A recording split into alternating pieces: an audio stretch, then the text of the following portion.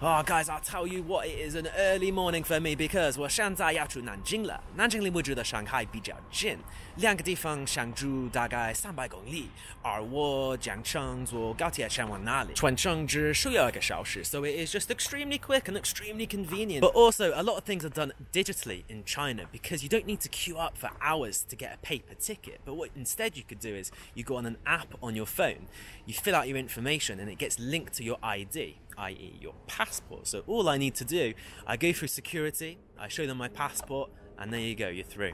So I'm heading off to the train station now. I'll show you guys what it looks like.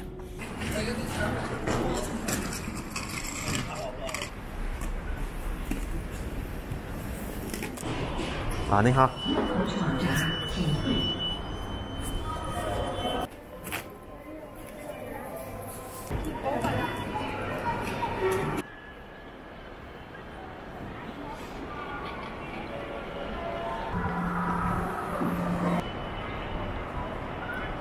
I've come here a little bit too early, so I've got about an hour to kill until my train leaves. So I'm going to see what I can find. I can see there's a Starbucks, McDonald's, Subway, a Tim's.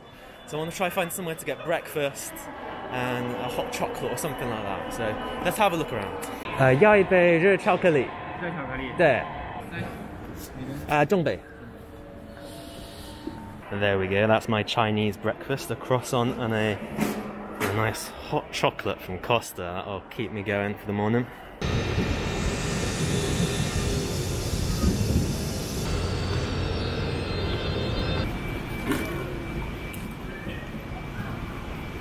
Alright guys, so I'm here, I'm at the platform just about to get on the train and I'm really excited because I have first class tickets. I've not done that before so I'm excited to see what it's like. Do you get any perks or anything like that? I don't know. Let me show you what the train looks like as well whilst I'm here. There we go. Very nice. Wonder if we can have a look inside. Is the the driver there? It's a bit dark. Can't really see. I just need to find my carriage. So yeah, you can see here, this says the Fuxing Hao train. So this is one of the later models, one of the quicker ones as well. Uh, I think it goes around 400 kilometers an hour, but I'm not too sure. Maybe I'll have to ask. So here we go. Let's go inside. 你好. Right, here's my seats. Let's get inside and enjoy the journey. Let me show you the perks of first class then. You've got this very nice footrest. You've got a lot more room than the standard class. Very comfortable. And you have this as well. What could this be, I wonder? What could this be? Here we go. A nice little table. Can have a meal on there, do your work or whatever. Very nice. And I've got a window seat, of course. Watch the journey. Now, you don't get this in standard class, do you? Free newspaper. What have we got? So, Renmin Tiedao, which means, let me think, People's Train Track or something like that. So, I guess this is a um, a newspaper by the railway station. Wow, that is huge, isn't it? Um, it looks like it's just got information yeah, about the Olympics, about the the 5G network, all that kind of stuff. All right, here we go then, setting off at last. All right, so as we are going along, let me just tell you some interesting facts about the high-speed rail. China currently has over two-thirds of the entire high-speed rail network across the world in just 12 years of development. That is crazy. And the total length of China's high-speed rail network is currently over 40,000 kilometers, which is the same as the Earth's equator. That's just incredible. I mean, you just take, for example, the capital Beijing and Shanghai. They're over 1,200 kilometers apart. So, yeah, even though Shanghai and Beijing are so far apart, it takes little over four hours to get from one city to the other. And that's the same distance as going from London to Edinburgh and back.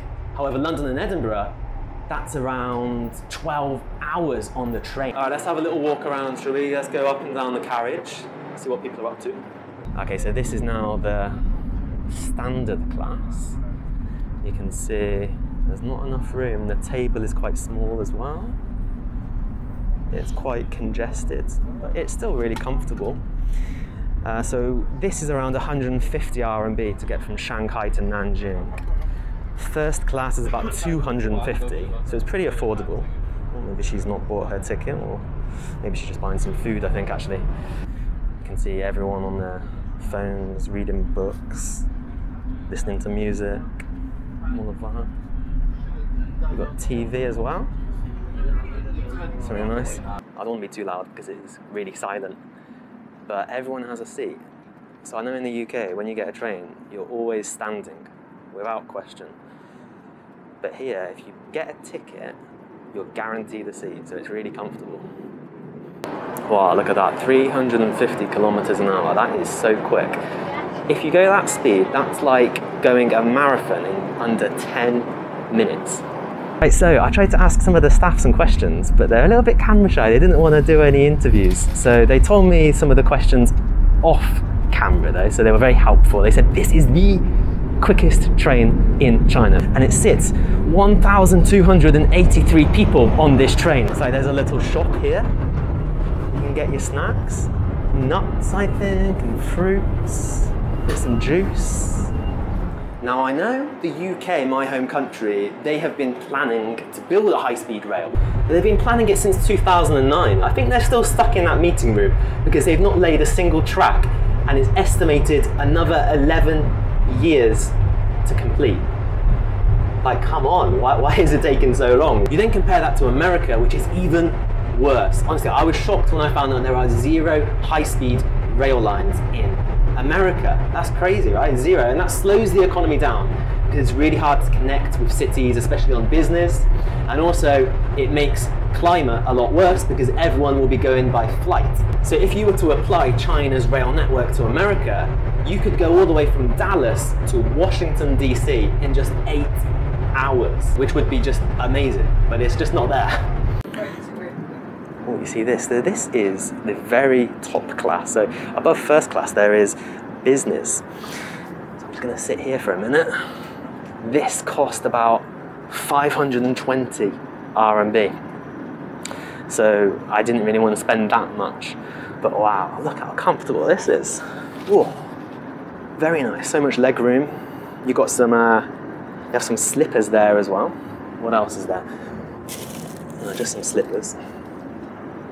But yeah, everyone is just um, relaxing, lying down. Oh, this is very nice.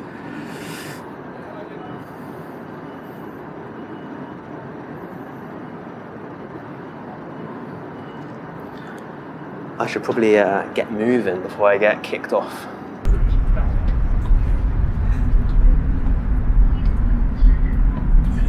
So I just came back to my seat and I found one of these. So I guess this is what you get when you're in first class. I don't know what it is.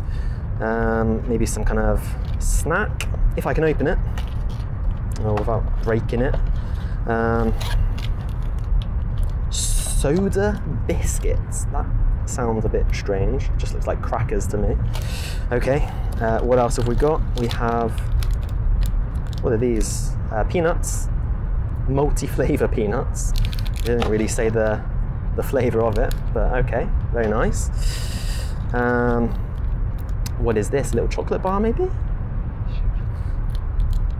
I don't know. Um, and then finally, oh, some kind of like beef jerky, I think.